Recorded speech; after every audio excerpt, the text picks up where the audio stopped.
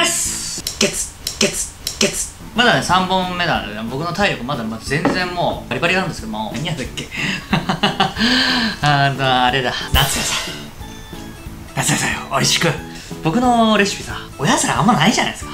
お野菜がもっこり取れる塩ラタトゥイユ。ラタトゥイユっていうと皆さんトマトベースだと思うんですけど今回はね塩。味お野菜が美味しく食べられる。非常にいいレシピになってますので今回はそれをほほろ酔いで作っていきたいと思いますリュウジのバズレシピ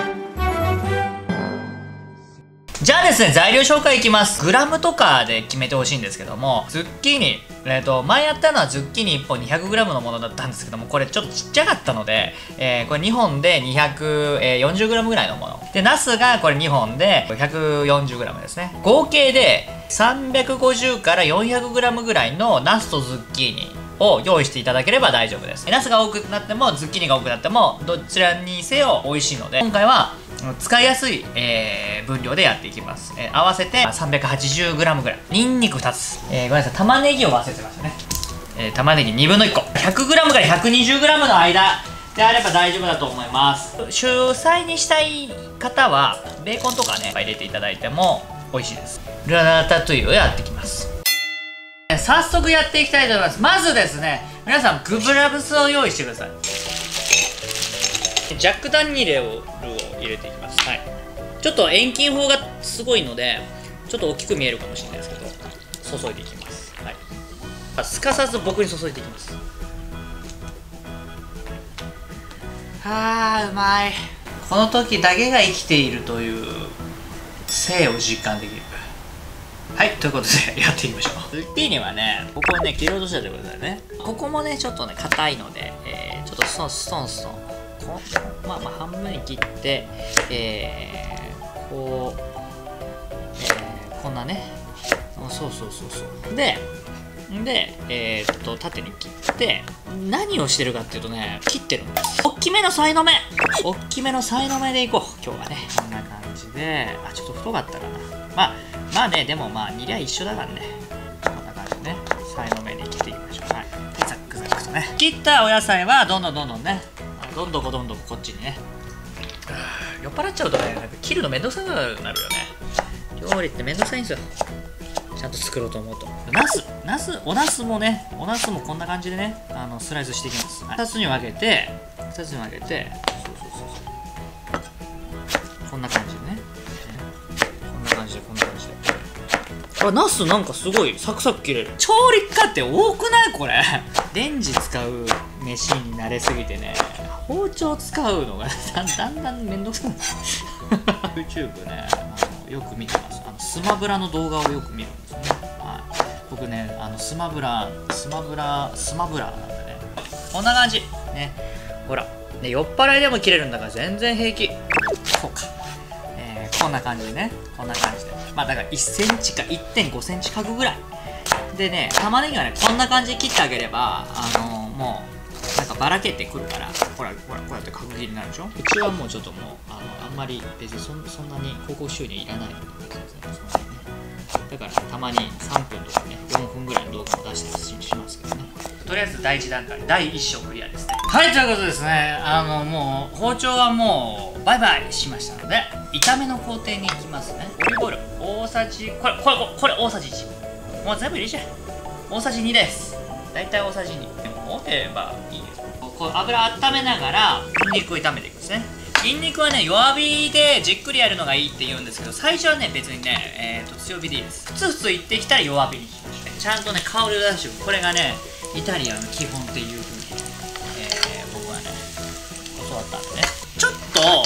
柴犬色にしましょう。ちょっと柴犬色になってきましたね。これね。柴犬色になってきました。鷹の爪。2つ。これも香りが出る。んですね玉ねぎ。ズッキーニと。ナス。入れちゃいます。結構ね野菜の分量多いのでちょっと大きめのフライパンの方がいい。ですまずコンソメ。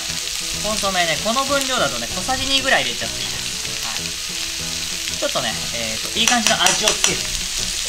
であとお塩。まあ一つまみとあと胡椒ですね。胡椒はね結構効かせちゃっても大丈夫。ですあさっき弱火にしたんですけどもちょっと中火。こんな感じでね。コンソメとさっき入れた塩の塩分でしなしなしていきますからあの野菜がね。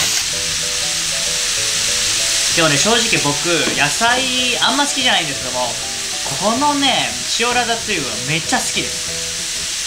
僕大好きこれニンニクをね香ばしく、えーと、いったおかげで、ね、結構ねいい香りがついてます。若干ね、えーと、お野菜が透明になってきたなと思ったら何に日本酒使うかっていうと別に白ワインでもいいんですけども白ワインってあんまり家にないので、えー、日本酒をね使う。日本酒でもうまみがすごいあるので日本酒でも全然美味しい大さじ4杯これを入れていきます。本来はここでここら辺でトマトをトマトのホール缶とか入れるんですけども日本酒で煮込む、まあ、煮込むといっても炒め煮なので神経質にならなくてもないです。くたがいい方はいっぱい煮込んでいただいて日本酒を入れたら、えー、と水分がね飛ぶまで、えー、と炒めていきます。僕は酒飲みなので塩。ね。えー、と入れた方がいいかなと思ったんでもう一つの薄味が好きな方はね、えーと、コンソメとかお塩の量調整してくださいね。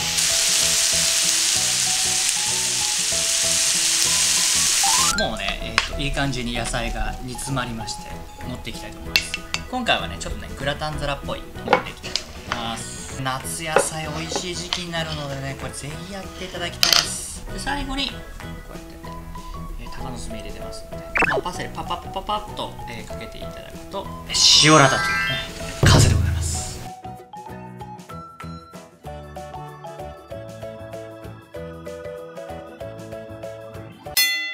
早速食べていきたいと思います。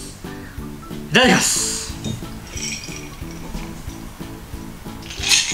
あーおかわり。もうねこれは酒なしでは語れません。男にはあれがあるんだよ。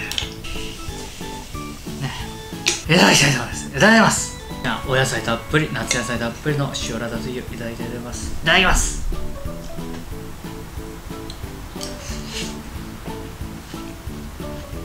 うまいね。いやいや。あーだわら。うま。っトロトロになった。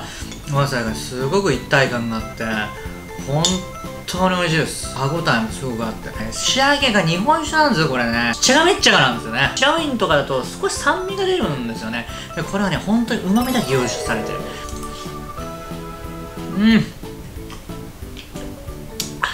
お野菜。もっと苦手な方はちょっと塩少なめにしてベーコン少し入れていただいてももう全然いいと思います。僕はねずっとこれで飲める。これは本当に美味しいわ。ぜひ皆さんこれねお弁当とかに使えます。もう呆れるほどうまい。ぜひ。食べさせさい VTuber 裏話なんですけど10分以上の動画はね単価が高いんですよね。はい。あんま言っちゃいけないのかこれ。これはスタッフの、えスタッフの裁量でこのこの裏話がカットになります